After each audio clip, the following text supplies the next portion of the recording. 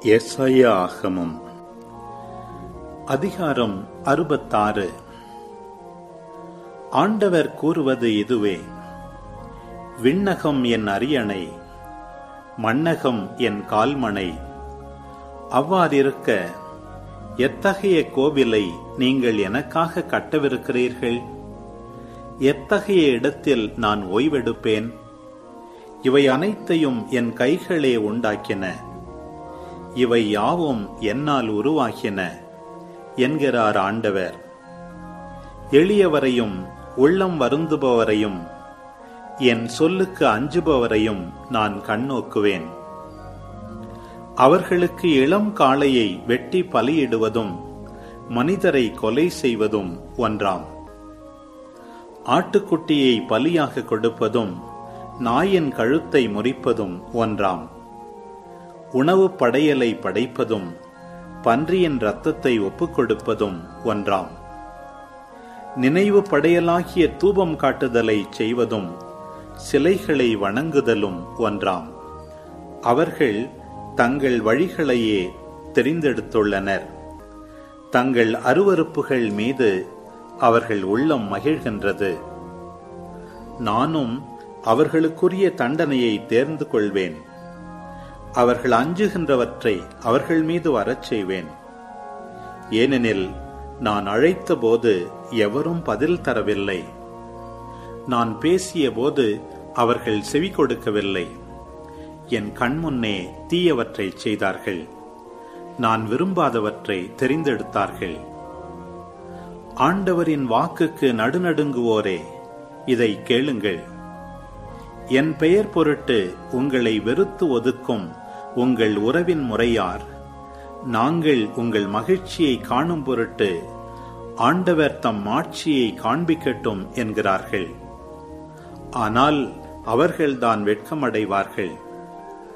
இதோ நகரில் பேரொலி கேட்கின்றது. திருக்கோவிலில் பேரோசை எழுகின்றது.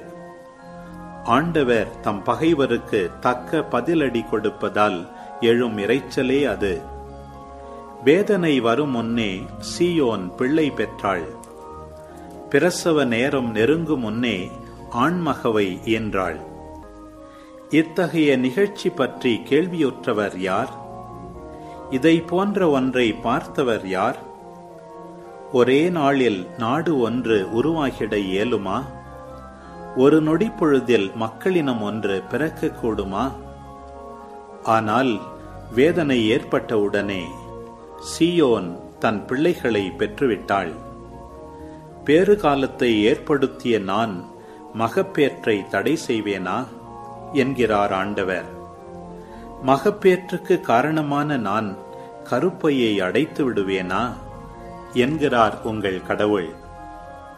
எருசலேமின் மேல் அன்பு கொண்ட அனைவரும் அவளுடன் அகமகிழ்ந்து அவள் பொருட்டு அக்களியுங்கள்.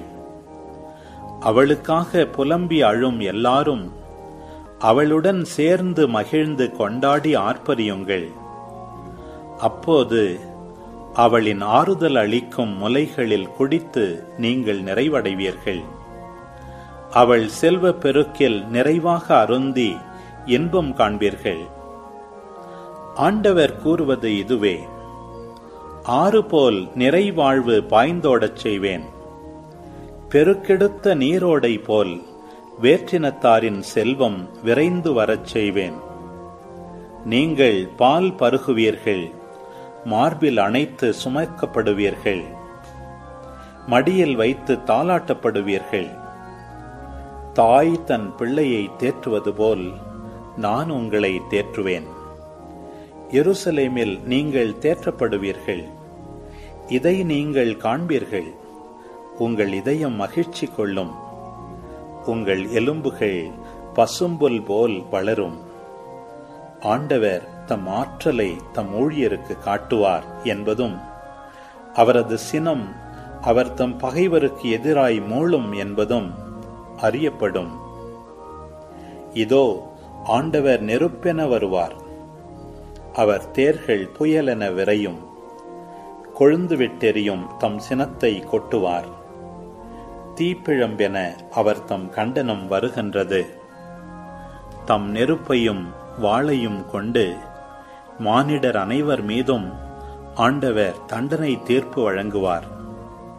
எண்ணிறந்தோரை ஆண்டவர் கொன்று விடுவார் தோட்ட வழிபாட்டிற்கென தங்களை தூய்மைப்படுத்தி தீட்டகற்றுவோர். அதற்கு அணி அணியாய்ச் செல்வோர். பன்றி எலி இவற்றின் இறைச்சி மற்றும் அருவறுப்புகளை உண்போர். ஆகிய அனைவரும் ஒருங்கே அழிந்தொழிவர் என்கிறார் ஆண்டவர். அவர்கள் செயல்களையும் எண்ணங்களையும் நான் அறிவேன். பிற இனத்தார் பிற மொழியினர் அனைவரையும் நான் கூட்டி சேர்க்க வருவேன்.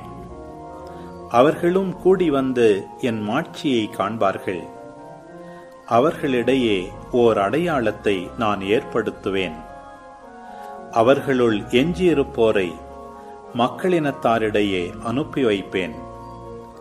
அவர்கள் தர்சீசு பூல் வில்வீரர் வாழும் லூது தூபால் யாவான் தொலையிலுள்ள தீவு நாடுகள் ஆகியவற்றிற்கு செல்வார்கள். இந்நாட்டினர் என் புகழ் பற்றி கேள்விப்படாதவர். என் மாட்சியை கண்டிராதவர். அவர்களும் என் மாட்சி பற்றி மக்களினத்தாருக்கு எடுத்துரைப்பார்கள்.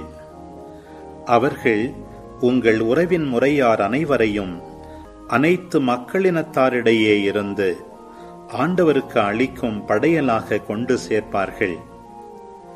இஸ்ராயேல் மக்கள் தூய கலம் ஒன்றில் உணவு படையலை ஆண்டவரின் கோவிலுக்கு எடுத்து வருவது போல் அவர்களை குதிரைகள் தேர்கள் பல்லக்குகள் கழுதைகள் ஒட்டகங்கள் ஆகியவற்றின் மேல் ஏற்றி எருசலேமில் உள்ள என் திருமலைக்கு அழைத்து வருவார்கள் என்கிறார் ஆண்டவர்.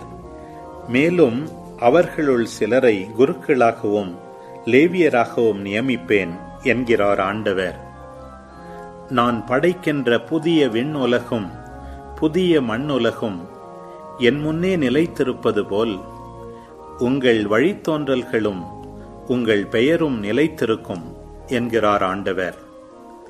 அமாவாசை தோறும் ஓய்வு நாள் தோறும் மானிடர் அனைவரும் என் முன் வழிபட வருவர் என்கிறார் ஆண்டவர். அவர்கள் புறப்பட்டுச் சென்று என்னை எதிர்த்து கிளர்ச்சி செய்தோரின் பிணங்களை காண்பார்கள். அவர்களை அரிக்கும் புழு சாவதில்லை. அவர்களை எரிக்கும் நெருப்பு அணைந்து போவதில்லை. மானிடர் யாவருக்கும் அவர்கள் ஓர் அருவருப்பாக இருப்பார்கள். எசேக்கியல் ஆகமம் அதிகாரம் இருபத்தைந்து. ஆண்டவரின் வாக்கு எனக்கு அருளப்பட்டது. மானிடா அம்மோனியருக்கு நேராக உன் முகத்தை திருப்பி அவர்களுக்கு எதிராய் இறைவாக்குரை அவர்களுக்குச் சொல் தலைவராகிய ஆண்டவரின் வாக்கை கேளுங்கள். அவர் கூறுவது இதுவே நீங்கள் எனது தூயகம் தீட்டுப்படுத்தப்பட்ட போதும் இஸ்ரேல் நாடு பாழாக்கப்பட்ட போதும் யூதாவின் வீட்டார் சிறைப்பிடிக்கப்பட்ட போதும் ஆகா என்று கூறி அக்களித்தீர்கள். எனவே உங்களை கீழ்த்திசையினருக்கு உரிமையாக ஒப்புவிக்கப் போகிறேன். அவர்கள் உங்கள் நடுவே பாளையம் அமைப்பார்கள். கூடாரங்கள் அடிப்பார்கள். உங்கள் மரங்களின் கனிகளை உண்பார்கள். உங்கள் மந்தையின் பாலை பருகுவார்கள். ராபாவை ஒட்டகங்களின் மேய்ச்சல் நிலமாகவும் அம்மோனை மந்தையின் கிடையாகவும் மாற்றுவேன். அப்போது நானே ஆண்டவர் என்பதை நீங்கள் அறிந்து கொள்வீர்கள். ஏனெனில் தலைவராகிய ஆண்டவர் இவ்வாறு கூறுகிறார். இஸ்ரேல் நாட்டுக்கு எதிராக நீங்கள் கைகொட்டி குதித்து வன்மனத்துடன் மகிழ்ந்தீர்கள். எனவே நான் என் கைகளை உங்களுக்கு எதிராய் ஓங்கி உங்களை வேற்றினத்தாருக்கு கொள்ளை பொருளாய் ஒப்புவிப்பேன்.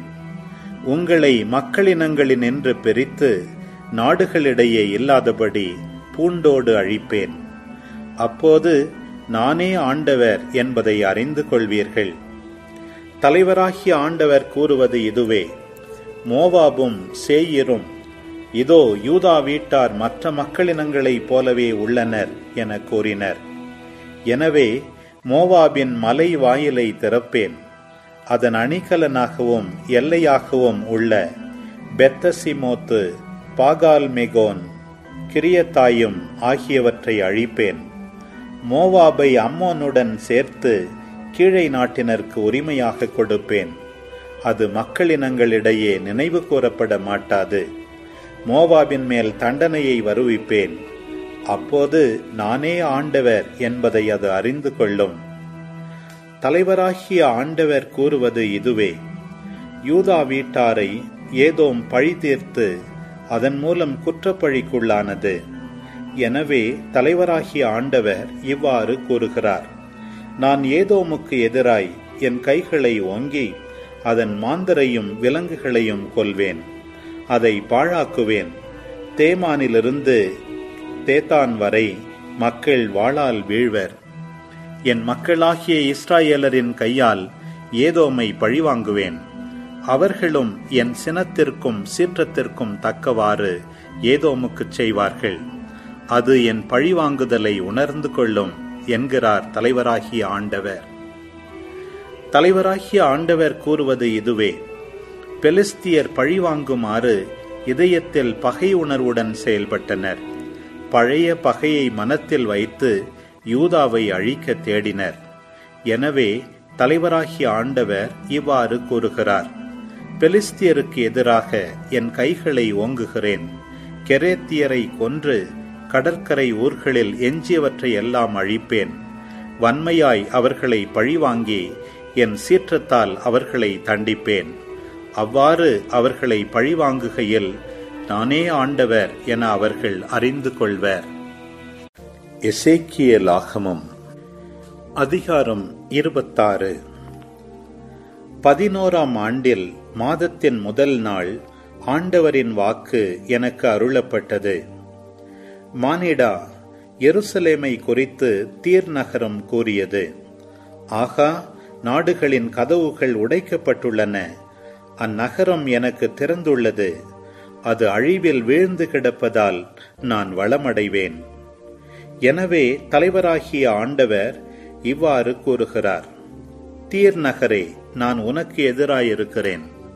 கடல் அலைகள் எழும்புவது போல் உனக்கு எதிராக பல மக்களினங்கள் எழும்பும்படி செய்வேன். அவர்கள் தீர் நகரின் மதில்களை அழிப்பர். அதன் காவல் மாடங்களை இடித்து தள்ளுவர். இடிபாடுகளும் அதில் இராதபடி வெறும் கற்பாறையாக தோன்றச் செய்வேன். கடல் நடுவே வலை காயும் திட்டாய் அது மாறும். ஏனெனில் நானே உரைத்தேன் என்கிறார் தலைவராகிய ஆண்டவர். எல்லா மக்களினங்களுக்கும் கொள்ளை பொருளாகும் அந்நகர். உள்நாட்டில் உள்ள அதன் புறநகர்கள் வாளால் அழிக்கப்படும். அப்போது நானே ஆண்டவர் என்பதை அவர்கள் அறிந்து கொள்வர். ஏனெனில் தலைவராகிய ஆண்டவர் இவ்வாறு கூறுகிறார். இதோ வடக்கில் உள்ள மன்னரின் மன்னனாம் பாபிலோனின் மன்னன் நெபுகத் நேசரை குதிரைகளோடும் தேர்களோடும் குதிரை வீரர்களோடும் பெரிய படைகளோடும் தீர் நகருக்கு எதிராக வரச் செய்வேன். உள்நாட்டிலுள்ள உன் புறநகர்களை அவன் வாளால் வீழ்த்துவான். உனக்கெதிராய் மண்மேடு எழுப்பி உன் மதில்களுக்கு எதிராய் முற்றுகை அரண் அமைத்து உனக்கெதிராய் தன் கேடயங்களை உயர்த்துவான்.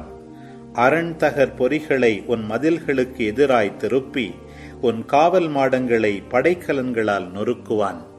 அவனுடைய குதிரைகள் மிகுதியானவை.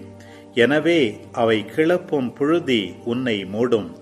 இடித்து திறக்கப்பட்ட நகரில் எளிதாய் நுழைவது போல் அவன் உன் நகரில் நுழைகையில் குதிரைகளும் வண்டிகளும் தேர்களும் எழுப்பும் பேரொலியால் உன் மதில்கள் அதிரும். குதிரைகள் குளம்புகளால் உன் தெருக்களை அவன் மிதிப்பான். வாளால் உன் மக்களை கொல்வான். வலிமையான உன் தூண்கள் தரையில் விழும். அவர்கள் உன் செல்வத்தை கொள்ளையடித்து உன் வாணிபச் சரக்கை பறித்து கொண்டு போவர். உன் மதில்களை இடிப்பர். உன் அழகிய வீடுகளை அழிப்பர். உன் கற்களையும் மரங்களையும் இடிபாடுகளையும் கடலில் எறிவர். உன் பாடலின் ஒலியை நிறுத்திவிடுவேன். இனிமேல் உன் யாழோசை கேட்காது. உன்னை ஒரு வெறுமையான பாறையாக்குவேன். நீயோ வலை காயும் தீட்டாவாய். ஒருபோதும் நீ திரும்ப கட்டி எழுப்பப்பட மாட்டாய். ஏனெனில் ஆண்டவராகிய நானே இதை உரைத்தேன். என்கிறார் தலைவராகிய ஆண்டவர். தலைவராகிய ஆண்டவர் தீர்நகருக்கு கூறுவது இதுவே. நீ பேரொலியுடன் வீழ்ச்சியுறுகையில் உன் மக்கள் காயமுற்று ஓலமிடுகையில் அவர்கள் உன் நடுவே கொல்லப்படுகையில் கடற்கரை நகர்கள் அதிராவோ? அப்போது கடற்கரை தலைவர்கள் அனைவரும் தங்கள் அரியணையை விட்டிறங்கி தங்கள் உயர்ந்த ஆடைகளையும் பூப்பின்னல் ஆடைகளையும் அகற்றுவர். திகிலடைந்தவர்களாய் தரையில் அமர்வர். ஒவ்வொரு நொடியும் உன்னை கண்டு மருண்டு நடுங்குவர். அப்போது உன்னை குறித்து இரங்கற்பா ஒன்று பாடி உன்னிடம் சொல்வர். சீர்மிகு மாநகரே நெய்தல் நில மாந்தரால் நிறைந்தவளே மா கடலில் வலிமையோடு விளங்கினையே நீயும் உன்னில் வாழ் மக்களும் அடுத்திருந்த அனைவருக்கும் பேரச்சம் விளைவித்தீர். அந்தோ என்னே உன் வீழ்ச்சி. இப்போது உன் வீழ்ச்சியில் கடற்கரை நகர்கள் நடுங்குகின்றன. உன் அழிவில் தீவுகள் திகிலுறுகின்றன. தலைவராகிய ஆண்டவர் கூறுவது இதுவே. மக்கள் குடியேறாத நகர் போல் அழிந்த நகராக நான் உன்னை மாற்றுகையில் ஆழ்கடலை உன்மேல் கொண்டு வருகையில் அதன் வெள்ளம் உன்னை மோதி மூடுகையில் நான் உன்னை பாதாளத்தில் இறங்குகிறவர்களோடு இறக்கி படுகுழியில் இருக்கும் மறக்கப்பட்டாரோடு சேர்ப்பேன். கீழ் உலகில் உன்னை இருக்க வைப்பேன். பழங்கால இடிபாடுகள் போன்ற படுகுழிக்கு போகிறவர்களுடன் நீ இருப்பாய். நீ திரும்பி வரமாட்டாய். வாழ்வோர் நாட்டில் உன் இடத்தை மீண்டும் பிடிக்க மாட்டாய். உன்னை நடுங்குதற்குரிய முடிவுக்கு கொண்டு வருவேன். நீ இனி இருக்க மாட்டாய். உன்னை தேடுவார்கள். ஆனால் நீ காணப்பட மாட்டாய். என்கிறார் தலைவராகிய ஆண்டவர். நீதிமொழிகள். அதிகாரம் பதினான்கு. ஞானமுள்ள பெண்கள் தம் இல்லத்தை கட்டி எழுப்புகின்றனர். அறிவற்றவரோ தம் கைகளை கொண்டே அதை அழித்து விடுகின்றனர். நேர்மையாக நடப்பவர் ஆண்டவரிடம் அச்சம் கொள்வார். நெறி தவறி நடப்பவன் அவரை பழிப்பான். மூடனது இருமாப்பு அவனை மிகுதியாக பேசச் செய்யும். ஞானமுள்ளவருடைய சொற்களோ அவரை பாதுகாக்கும். உழவு மாடுகள் இல்லையேல் விளைச்சலும் இல்லை. வலிமை வாய்ந்த காளைகள் மிகுந்த விளைச்சலை உண்டாக்கும். வாக்கு பிறழாத சாட்சி பொய் உரையான். பொய் சாட்சியோ மூச்சுக்கு மூச்சு பொய் பேசுவான். ஒழுங்கீனன் ஞானத்தை பெற முயலுவான். ஆனால் அதை அடையான். விவேகமுள்ளவரோ அறிவை எளிதில் பெறுவார். மூடனை விட்டு விலகிச் செல். அறிவுடைய பேச்சு அவனிடம் ஏது? விவேகமுள்ளவரது ஞானம் அவரை நேர்வழியில் நடத்தும். மதிகேடர் மடமை அவனை ஏமாறச் செய்யும். பாவ கழுவாய் தேடுவதை மூடர் ஏளனம் செய்வர். மூடரின் இல்லத்தில் குற்றப்பழி தங்கும். நேர்மையாளரின் இல்லத்தில் மகிழ்ச்சி தவழும்.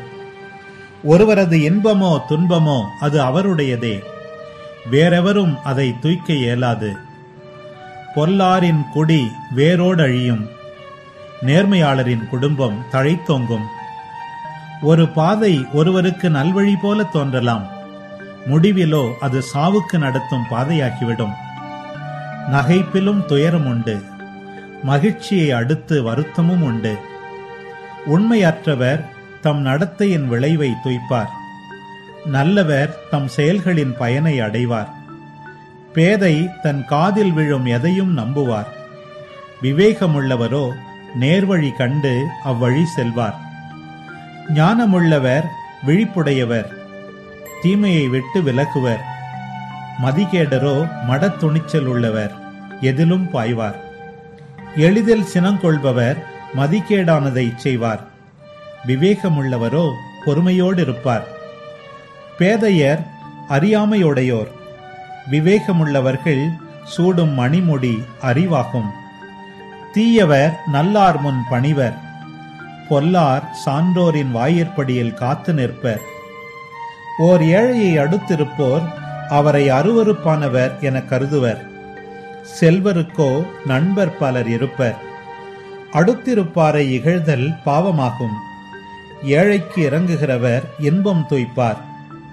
தீய சூழ்ச்சி செய்பவர் தவறிழைப்பவர் அன்றோ. நலம் தரும் திட்டம் வகுப்போர் அன்பிற்கும் மதிப்பிற்கும் உரியவர். கடும் உழைப்பு எப்போதும் பயன் தரும். வெறும் பேச்சினால் வருவது வறுமையே. ஞானிகளுக்கு அவர்களது விவேகமே மணிமுடி. மதிகேடருக்கு அவர்களது மடமைதான் பூமாலை. உண்மை சான்று உயிரை காப்பாற்றும் பொய்ச்சான்று ஏமாற்றத்தையே தரும். ஆண்டவரிடம் கொள்ளும் அச்சம் ஒருவருக்கு திட நம்பிக்கை அளிக்கும். அவர் தம்முடைய பிள்ளைகளுக்கு அடைக்கலமாயிருப்பார். ஆண்டவரிடம் கொள்ளும் அச்சம் வாழ்வழிக்கும் ஊற்றாகும். சாவை விளைவிக்கும் கண்ணிகளுக்கு அது மனிதரை தப்புவிக்கும். மக்கள் தொகை உயர மன்னரின் மாண்பும் உயரும். குடிமக்கள் குறைய கோமகனும் வீழ்வான். பொறுமையுள்ளவர் மெய்யறிவாளர். எளிதில் சினம் கொள்பவர் தம் மடமையை வெளிப்படுத்துவார். மன அமைதி உடல் நலம் தரும். சினவெறியோ எலும்புருக்கி ஆகும். ஏழையை ஒடுக்குகிறவர் அவரை உண்டாக்கினவரை இகழ்கிறார். வறியவருக்கு இறங்குகிறவர் அவரை போற்றுகிறார். பொல்லார் தம் தீவினையால் வீழ்ச்சியுறுவார். கடவுளுக்கு அஞ்சி நடப்பவர் சாகும்போதும் தம் நேர்மையை புகலிடமாக கொள்வார். விவேகமுள்ளவர் மனத்தில் ஞானம் குடிகொள்ளும். மதிகேடரிடம் அதற்கு இடமே இல்லை. நேர்மையுள்ள நாடு மேன்மை அடையும். பாவம் நிறைந்த எந்த நாடும் இழிவடையும். கூர்மதியுள்ள பணியாளனுக்கு அரசர் ஆதரவு காட்டுவார். தமக்கு இழிவு வருவிப்பவன் மீது சீற்றம் கொள்வார்